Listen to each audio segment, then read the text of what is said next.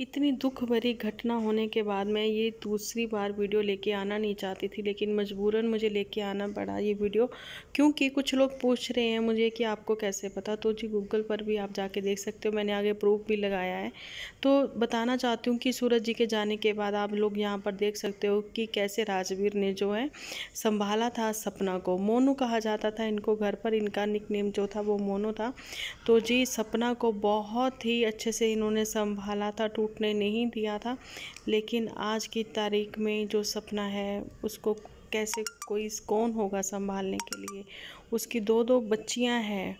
भगवान से यही कहते हैं कि भगवान उसको हिम्मत दे, उसके माँ बाप ने अपने दो दो बेटों को खोया है। तो यहाँ पर ये भी आप देख सकते हो कि मतलब कितना मिस कर रहे थे, सपना जब मायके गई है तो ये पंद्रह दिन की भी छुट्टी देना नहीं चाहते थे। पता नहीं उस टाइम पे इनके दिल में क्या बीत रही होगी, क्या चल रहा होगा, कि ये नहीं चाहते थे इनके बच्चे और इनकी पत्नी जो है इनसे दूर रहे, है ना? तो इन्होंने फिर भी वो होता ना, मायके लड़कियाँ जाना चाहती हैं तो वो बीस दिन के लिए जाना चाहती थी तो इन्होंने पंद्रह दिन की चलिए उनको छुट्टी तो दे दी, लेकिन फिर भी वीडियो कॉल पर तो बात करते थे। बहुत ही बहुत ही ज़्यादा दुख की भरी बात है। कि सपना इतनी छोटी सी उम्र में दूसरी बार इतने बड़े सदमे को झेल रही